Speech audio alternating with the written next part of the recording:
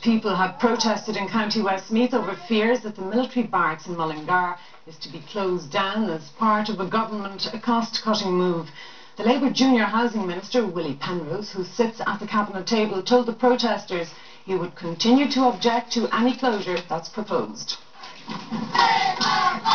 Three weeks after senior army officers visited Mullingar to discuss the closure of Columb Barracks, hundreds of soldiers' wives and members of their families took to the streets this afternoon to voice their opposition. We are not willing to sit back and let the government close the barracks, which will have a devastating effect on the town. The Department of Defence has reiterated the fact that no decision has been made to close army barracks in Mullingar, Clonmel or Cavan.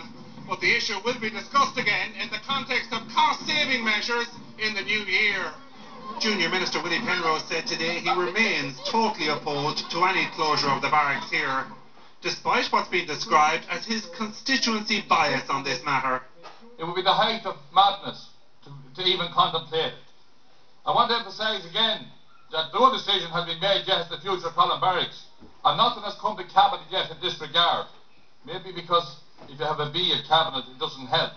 There is going to be no closure to Columb Barracks or no downgrading to Columb Barracks because we will not tolerate it now in the short term, medium term or long term.